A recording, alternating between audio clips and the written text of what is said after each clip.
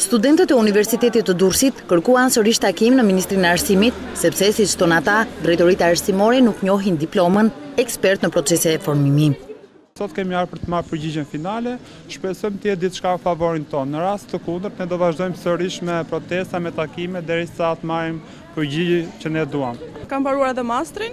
Mastri neve na është komunikuar që ky master është vazhdim i degës çfarë ne kemi mbaruar deri më tani. Edhe fakti që mua më acaron është sepse Ministria ka pranuar që të krijohet një master e cila është në mbështetje të kësaj dege. Ndërkohë që Ministria, ashtu siç edhe janë prononcuar edhe studentët e tjerë që kjo degë nuk njihet. Edhe ne thjesht duam të dimë se kush janë informacionet, kush është kurrikula e saktë që kjo Ministri ka.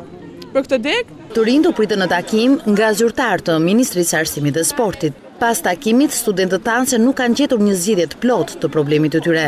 E pyetur nga Ora News, Ministria e Arsimit sqaron se, studentëve iu konfirmua se ky institucion do të marrë të gjitha masat dhe do t'i përcjellë Departamentit të Administratës Publike, përshkrimin e punës për vendet vakante që do të hapen në drejtoritë apo zyrat arsimore rajonale, si dhe tek institucionet në varësi të ministrisë, ku ndër të tjera do të përfshihet si kriter punësimi edhe diploma me titull ekspert në procese formimi.